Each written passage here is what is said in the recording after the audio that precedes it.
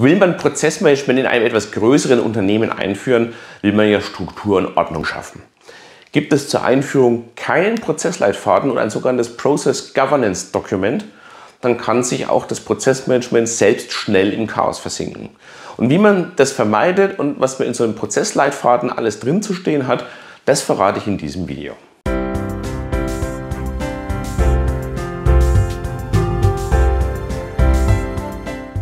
Ich grüße Sie. Mein Name ist Axel Schröder und ich beschäftige mich seit rund 25 Jahren mit der Optimierung von Unternehmen.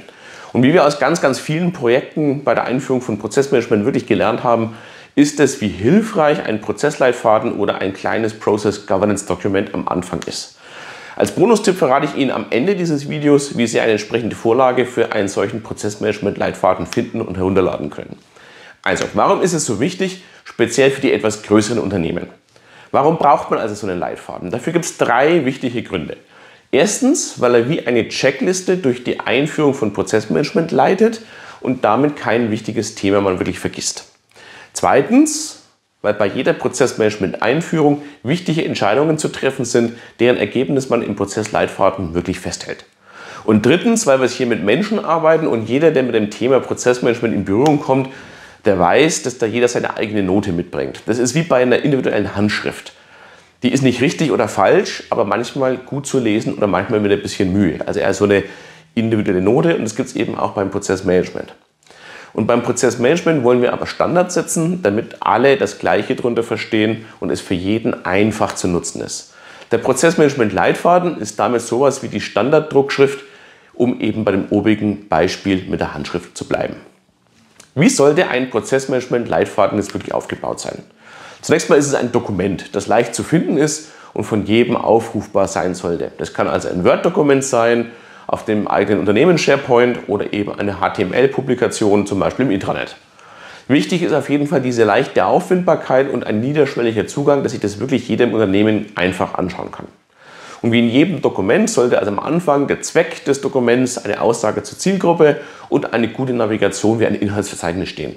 Auch bei einem Word-Dokument kann man ein Inhaltsverzeichnis so gestalten, zum Beispiel, dass man das äh, verlinkt ist, dass man draufklickt und an die entsprechende Stelle springt. Auch das gibt es bei PDF-Formularen zum Beispiel, kann man also entsprechend gut machen. Und hier spielen also auch Intranet-Publikationen ihre volle Stärke aus, weil man sie eben sowohl mit Hyperlinks auch in den Texten äh, gut verlinken kann, weil man aber auch unterschiedliche Medienformate wie Text, Bilder oder Videos schön oder leicht konsumierbar drin gestalten kann. Und der erste wichtige inhaltliche Abschnitt geht dann um das Prozessmanagement als ganzheitliches System im Unternehmen. Also nicht nur um einzelne Facetten, sondern wirklich um das gesamte BPMN. Definition von Prozess und Prozessmanagement zum Beispiel, Ziele und Versprechen, was soll damit wirklich erreicht werden, Notwendigkeit von BPM qualitativ und quantitativ, Prozessmanagement, Lebenszyklus zum Beispiel, starten mit der Zielsetzung und dem Zielfindungsprozess und eine hierarchische Einordnung in die bestehende Organisation. Wichtig ist da vor allem auch die Rolle der Unternehmensleitung. Das muss also wirklich geklärt sein, bevor man sich weitere große Mühe in BPM wirklich einsteckt. Und gemäß dem typischen BPM-Lebenszyklus beginnt es eben mit der Prozessdokumentation. Hier nimmt man eben auch einen großen Teil im Leitfaden mit ein. Geklärt werden müssen hier eben Ziel und Zweck der Dokumentation. Zum Beispiel ist es die Basis für eine spätere Verbesserung oder ist es als reine Dokumentation gedacht, zum Beispiel für eine ISO-Zertifizierung, wo man sie braucht oder für was man eben diese Dokumentation wirklich machen möchte.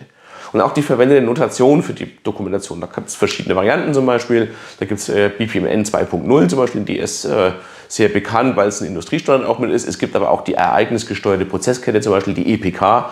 Die kommt eben aus einer anderen äh, Sichtweise, wie man Prozesse aufnehmen kann. Mit gibt es jetzt keinen dafür oder dawider, sondern sind beide wirklich sehr gut. Man soll sich aber halt für eine wirklich entscheiden, die konsequent durchziehen. Es müssen auch die Verantwortlichkeiten für die Dokumentation zum Beispiel geklärt werden. Also wer macht das? Ist das zentral zum Beispiel ein Modellierer in einer Stabsstelle oder sowas äh, oder in einem äh, Process Management Team oder Business Acceleration Team oder wie auch immer das heißen mag? Oder gibt es dezentrale Modellierer in den Fachbereichen, die dann die jeweiligen äh, Fachbereichsprozesse eben erheben und aufnehmen?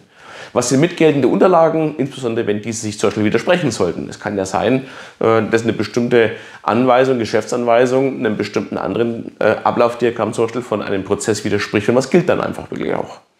Welche IT-Systeme zum Beispiel werden verwendet? Oder welchen Werkzeug wird modelliert? Hat man da eine BPMN-Suite oder gibt es da nur irgendwie Visio-Shapes oder hat es jeder in seinem eigenen PowerPoint oder wie soll das gestaltet werden? Verwendete Objekttypen und Attribute dieser Objekte, zum Beispiel will man Chancen und Risiken entsprechend mit äh, modellieren, hat man IT-Systeme, die man entsprechend mit an die jeweiligen Prozessobjekte in eine Beziehung setzen möchte, möchte man Rollen mit modellieren und ähnliches. Also was sind die Objekttypen, die man eben in dieser Dokumentation mit erheben möchte.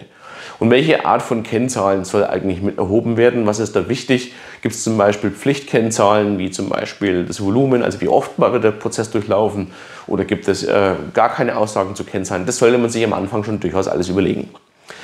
Aber begehen Sie hier nicht die vier häufigsten Fehler des Prozessmanagements. Darüber haben wir nämlich hier ein ausführliches Video erstellt. Schauen Sie das mal an, vielleicht als Hintergrundinformation, ist wirklich äh, sehr sehenswert, um einfach die größten Punkte gleich im Vorfeld auszuschließen. Beginnen Sie also mit der Modellierung immer auf einer ersten Landkarte, auf einer Prozesslandkarte und etablieren Sie eine gelebte Prozesssteuerung auf dieser sehr, sehr hohen Flugebene, bevor Sie in die Details gehen. Also fangen Sie einfach an und legen Sie auf der Unternehmensprozesslandkarte auch tatsächlich die Verantwortlichkeiten von der Geschäftsführung und vom Vorstand oder vom Unternehmer entsprechend mit fest. Und damit sind wir beim Ebenenmodell. Viele Berater schlagen hier eine Festlegung auf vier bis fünf Prozessebenen vor. Das ist also aus meiner Erfahrung unnötig und eigentlich viel zu starr eigentlich. Also ich sage immer, folgen Sie viel mit dem Prinzip so viel wie nötig, aber so wenig wie möglich. Also wenn ein Prozess seine Leistung verfehlt, dann müssen Sie an dieser Stelle halt einfach tiefer graben und tiefer bohren, beziehungsweise modellieren eben, bis Sie zum Kern des Problems wirklich vorstoßen. Das kann dann auf Ebene 8 oder 9 sein. Aber wenn Sie einen Prozess auf der Ebene 2 schon halbwegs rund läuft und er seine Prozessziele erreicht, dann belassen Sie es dort und kümmern Sie sich um die anderen Dinge, die vielleicht mehr Ihre Aufmerksamkeit erfordern. Sonst verzetteln Sie sich da wirklich und hier ist wirklich Pragmatismus gefragt und kein Formalismus. Also so viel modellieren wie notwendig, aber so wenig wie möglich.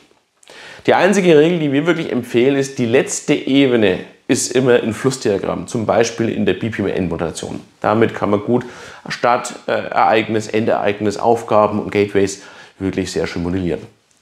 Im Prozessmanagement-Leitfaden sollten Sie ferner festlegen, ob Sie den Ist-Prozess eines Prozesses darstellen, also so wie es tatsächlich ist, mit allen Irrungen und Wirrungen, die so ein Prozess mitbringt, oder ob es ein gewünschter Soll-Zustand sein soll. Und dazu haben wir also auch eine klare Empfehlung. Nehmen Sie den Ist-Zustand, so wie Sie das einfach vorfinden aus den Gesprächen, den Interviews. Und wenn Sie den Prozess äh, noch gar nicht gibt, dann markieren Sie das mit einem deutlich sichtbaren Platzhalter in Ihrer Modellierung. So decken Sie wirklich Lücken auf und machen diese sichtbar. Und wie man Prozesse aufnimmt und welche Techniken es dafür gibt, das haben wir in diesem Video wirklich auch sehr ausführlich besprochen. Schauen Sie da mal mit rein. Da sind auch ein paar Tipps und Tricks drin bei großen Unternehmen, wie zum Beispiel der Betriebsrat einzubinden ist und ähnliches.